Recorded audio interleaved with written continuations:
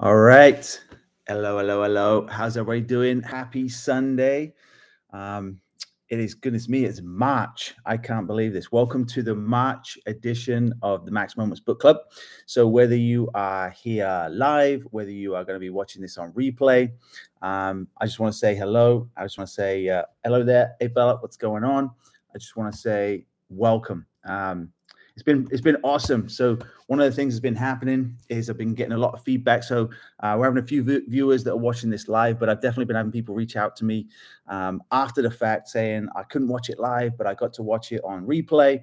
And so again, whether you're watching it live, whether you're watching on replay, I just want to say welcome. I hope you're doing well. Again, happy Sunday. And um, yeah, can you believe this? We are already close to the end of March, which means we are a quarter of the way through 2024. So um, how's 2024 going for you? I hope it's going awesome. And uh, and like I said, 2024, right back at the beginning when I first started this book club, I told you, I said, you know, I'm hoping that this book club is going to be something that you can uh, use to help you create the type of 2024 that you want. So that's how short time is. We already are a quarter of the way through 2024. So, anyways, just want to say that uh, for me personally, 2024 has been awesome. Uh, working at Pepperdine has been fantastic. Also been branching out with the Life to the Max, been doing some keynote speeches, been working with some groups, some organizations, and it's been fantastic to speak on stages, to do this book club, and to uh, to just really make my impact. So, anyways, so if you're here, like say, put you in the chat. I'm just reminding you, hello, writing this here. I'm just going to send you a little note right here to all the people that are on. And um, all right. So, anyways, like I said, so this is the third. This is the third installment of the Max Moments Book Club. And what we're going to do today is we're going to do like we've always done. I committed uh, for this year, for the year of 2024. What I committed to doing was every single month for the for the for the 2024 year. So 12 12 months. What I would do is, is each month I would get on and I would do a live Max, Max Moments Book Club, which is basically to say uh, taking one of the Max Moments from this book uh, so if you're watching this now again, whether it's live or, or on replay, whether it's uh, whether you have the book or not, my plan is is to go through one of these max moments and do a little bit deeper of a dive into um, how you can apply these max moments and or the max moment that we've been working on and how you can apply it to your life. Okay. So just a recap, if you remember, um, or if you've read the book, and if you haven't, then I'll just go through it again. But there are basically five sections to the book. So in this book, there are 42 max moments.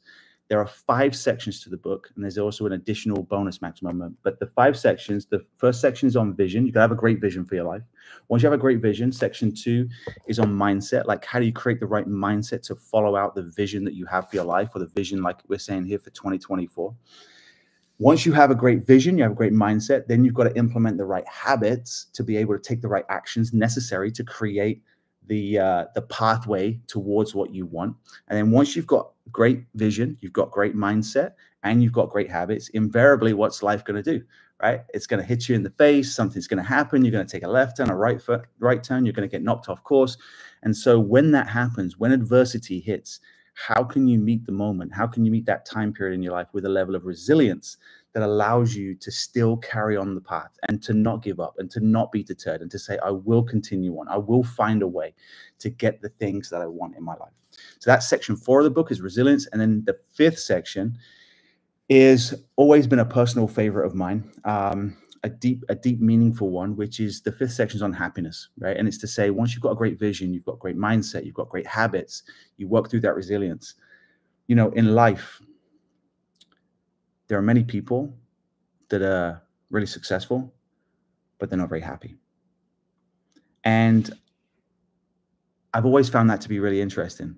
I've always found that to be how is it that people can seemingly have everything, but yet not be fulfilled? And so the fifth section is on happiness. How do you live in the world of high performance? How do you try to do life at a high level, knowing that things are going to hit, going after something so big, and then knowing that when that adversity hits, how do you still find joy in the journey? How do you still find happiness? How do you still find contentment? How do you still find fulfillment? How do you still find a way to enjoy everything in life? And so what I decided to do, as I, as I mentioned before, so now recap, and then we're going to get to the max moment. So the first max moment came from the section of vision. We talked about the vision, okay, and that was the twelve thousand dollar piece, pizza. It's the very first max moment in the book.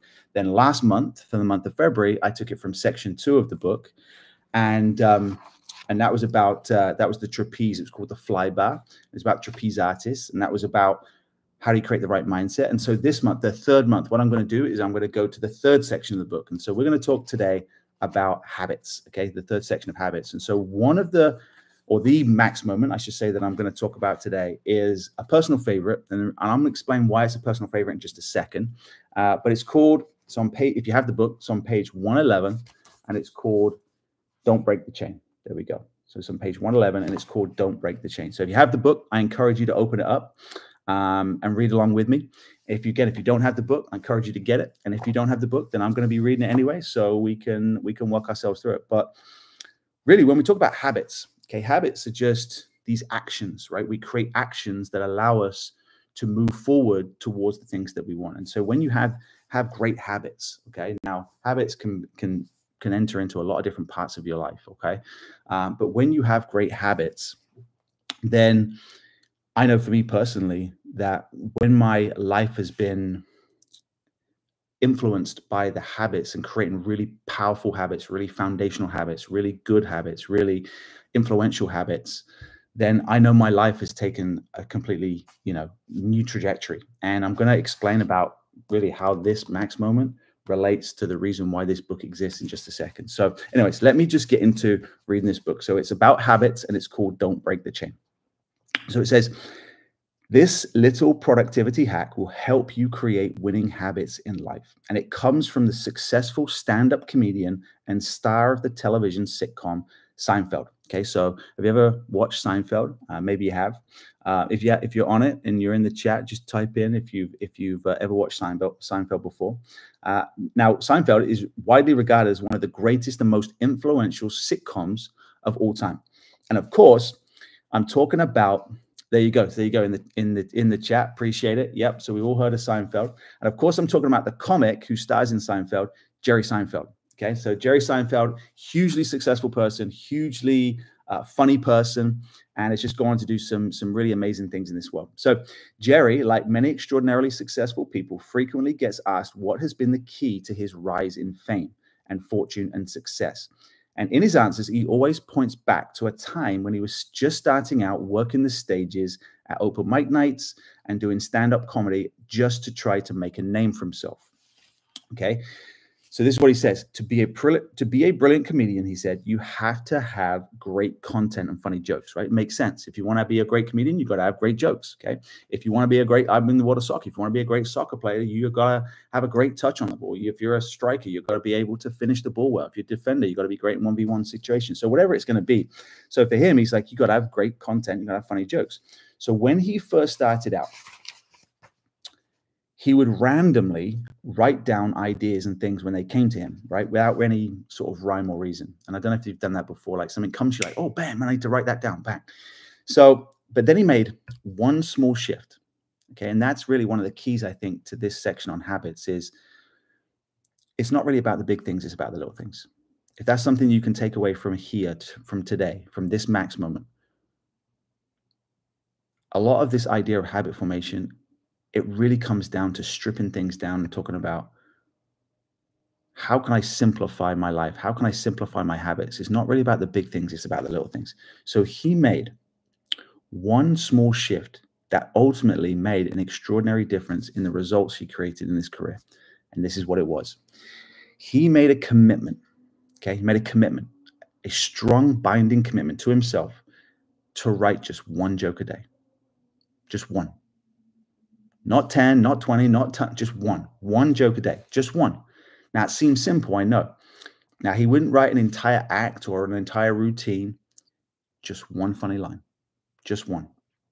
But here's the thing then he would do it the next day, and then he would do it the next day, and then he would do it the day after that, and the day after that, until he was consistently writing funny content all the time, day after day after day after day.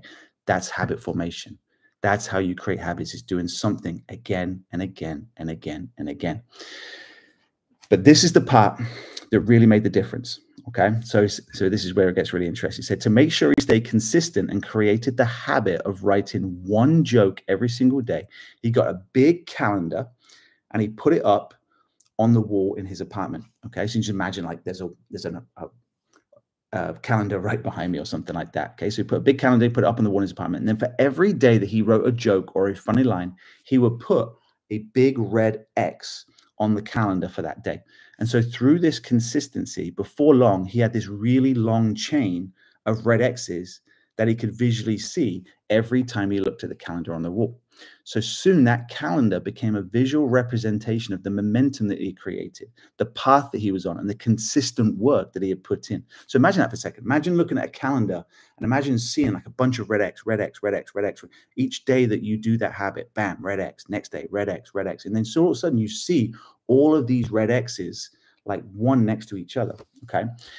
So he's like I said, he he talked about how it was a visual represent, representation of the momentum he created, the path he was on, and the consistent work he put in. So so much that writing the material no longer was about having to create jokes, but it actually became about putting another red X on the calendar and not leaving a single day blank. So his it kind of his mind shifted. So all of a sudden it wasn't really about writing funny jokes anymore. That was a given. He knew he was going to do it every day, but it became more about not wanting to leave one of those squares on his calendar blank. He's like, I gotta, I gotta put a red X. How do I do that? I write a joke. And so his mindset shifted and it was a different perspective. So Jerry Seinfeld shared this story. So now I'm on to page 113. Jerry Seinfeld shared this story with a, a young comic who was curious to know what his key to success was. And the and the advice that Jerry gave him was simply this: don't break the chain. Okay, name of the name of the max moment. Don't break the chain. Now it sounds so easy, right? And I know what you're thinking. Something so simple can't possibly be the key to success. Okay, but what is easy to do is easy not to do, and that's another thing I want you to take away from today. What is easy to do is easy not to do. Writing a joke a day is easy to do, but also writing a joke, just one, is easy not to do. Eating an apple a day an apple a day keeps the doctor away, right? Eating an apple a day. It's easy to do. But eating an apple a day is also easy not to do. Reading one max moment a day. There's only there are only like two or three pages. It's easy to do. But it's also easy not to do. And that's the the thing about habits is that when you create the right habits, they are easy to do, but they're also easy not to do. And that's why not everyone will do it. And that's what makes this concept of not breaking the chain so genius. So, as easy as it sounds to not break the chain, when life happens and gets in the way, and you know the stuff that I'm talking about, we must make decisions. Okay. And it's in these moments of decision that we find out how important it is to us whether or not to break the chain. This concept of not breaking the chain can apply to literally anything. So now I'm talking about you. Okay. It can apply to writing, it can apply to music or art or anything creative. It can apply to reading for personal development. It can apply to working out consistently to get fit or train for a big event. It can apply to eating better to improve your health and vitality. Uh, it can apply to doing extra training to improve a certain skill for for something that you're involved in a certain you know maybe on a team. Again go back to soccer like um, maybe training to for, for a certain uh, certain skill you want to improve. It can apply to doing something nice for someone else to show your appreciation. Like apply it to whatever you want to get better at. Apply it to whatever you want to create a new level of success in right? But just apply it commit to it and do it every day. No exceptions okay? Even if you can't commit two hours to your chosen endeavor even 15 minutes is better than not, nothing at all right? Your goal should not be perfection. I love this part of the book. Okay. Your goal should not be perfection. Your goal should be to not break the train. You don't have to be perfect, but you just have to learn and teach yourself and teach your mind, teach your heart to not break the chain. So personally, I used to think that if I did not have an, an entire hour to work out, like I like to work out, okay, but I used to think if I don't have an hour to work out, then it wasn't going to be worth it, right? And I wouldn't work out and I'd skip a day. I wouldn't put an X in that box. And some days I would get a great workout in, and then other days I wouldn't do anything. But now I realize that even 20 minutes is better than not working out at all. Now, it might not be my ideal workout, but something is better than nothing. And in the process, what am I doing? I'm teaching myself to not break the chain. So that's it. says this if you are one of the few who stays consistent and does not break the chain, working on building success in your life day after day, week after week, year after year, then the rewards will be beyond anything that you can imagine. And now I'll leave you with this, and then I'm going to give an example for me, and I'm going to turn over to you. This is now my simple formula for success. And I try to work on this every single day. And it's this today plus today plus today plus today plus today plus today plus today plus today plus today equals your destiny. So do it today. Grab a calendar, start tying up those X's, and don't break the chain. So hopefully that makes sense. Uh, if you're reading it again for for maybe you know you've you've already read through the book and you're reading it again, then don't skip out on this one. This one is a powerful, powerful one. Don't break the chain. So before I kind of turn it over to you to encourage you to create your habits, I want to share with you one story. The reason this book exists is because of Don't Break the Chain. So I wrote that Don't Break the Chain Max Moment a number of years ago, but I wrote this book last year back in 2023. And I remember at the beginning of, of 2023, back in January, so last year, I said I was going to write the book. I didn't know how I was going to do it. I didn't know. I didn't know anybody. I had to. I had to figure out how to write the book. I figure out. I had to figure out like editing. I had to figure out the writing part. I figured out. Had to figure out the publishing part. There were so many pieces I had to figure out, and it was it was kind of scary. Okay, but I took this concept of don't break the chain. This is how powerful it is. I took this concept of don't break the chain. I said, okay, what am I going to do? If I'm going to write this book, what am I going to do? And this is all I did.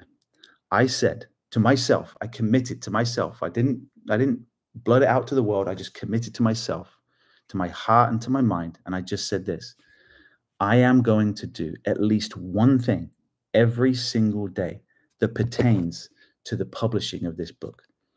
Now, it can be a lot of different things, but I said I will not go a day from January 1st all the way through until it's done. I will do something every single day towards the attainment of publishing this book. So some days it was writing, some days it was editing, some days it was it was figuring out researching. Some days it was reaching out to people for help. Some days it was contacting people asking for advice.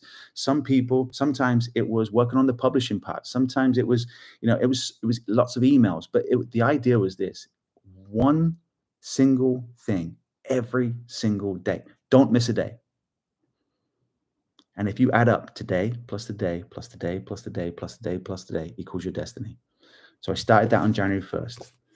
And then the middle of June, so was that six months later, I was able to publish my first book. So this idea of don't break the chain, this book is living proof that it works. And so I encourage you today, like think of it right now. Like if you're here and you want to type in the chat, what is a habit? What is an action that you can commit to doing every single day? That if you do it enough, over consistently over enough over a long enough period of time that is going to absolutely change the trajectory of your life?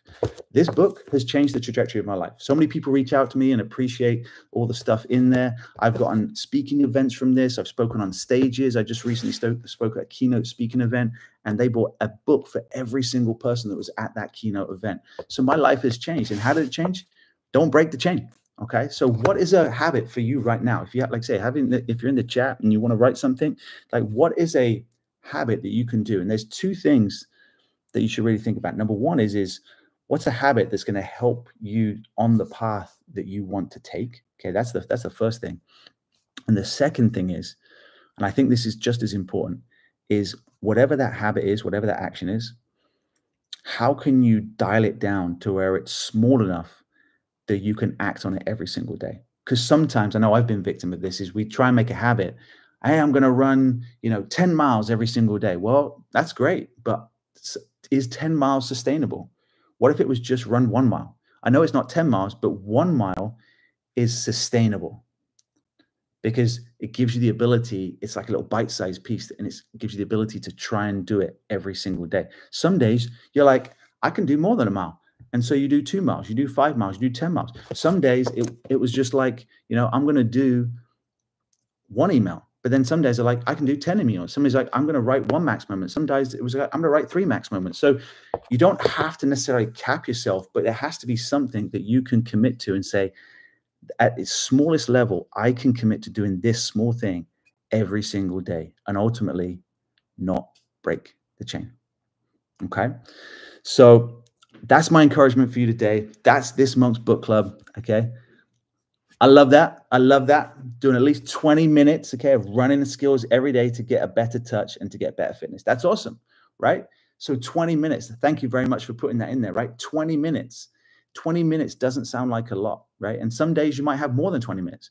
But if you commit to doing those 20 minutes, today plus the day plus the day plus the day equals your destiny. 20 minutes plus 20 minutes plus 20 minutes plus 20 minutes equals your destiny. One max moment plus one max moment plus one max moment plus one max moment that's going to take you into a completely different direction. So hopefully that's helpful. Uh, I plan for these to be kind of bite sized. They're only so we're already at 20 minutes. So I'm gonna I'm gonna hold it there. But hopefully that's helpful for you. Again, whether you're watching it live, whether you're watching it on replay, um, let me know what you think of these max moments. Let me know if you have a max moment that you prefer that you're like, hey, I wish I wish you would talk about this put it in the chat, put it, email me, reach out to me, let me know. But uh, I'm going to be covering all of the sections sequentially over the course of the next few months, and uh, and we should have enough with 12 months in the year. We should have enough enough max enough months where we can actually cycle through these sections um, at least once. So, uh, but if you have a preference and there's one you want me to talk about, let me know. I'm happy to entertain that. But most of all, you know, I just want to say this thank you for for listening thank you for taking your time time is a precious thing and so the fact that you've taken the time to listen to me here to to to kind of uh, take this take this opportunity to to listen to something that can be productive that can help you so that you can ultimately go on and live the life that you want because as i said before i go bring it full circle we are in 2024 and we are already a, qu- a quarter of the way through 2024 that is how quickly time is so don't waste a moment. Don't waste a second. Choose to live every single day at the next level. Choose to live life to the max. And if you do, I promise you, extraordinary things are around the corner. So again, happy Sunday. Thank you for listening to March's Max Moment and Max Moment Book Club. And I will see you again very soon. All right. Have a great day. 拜拜。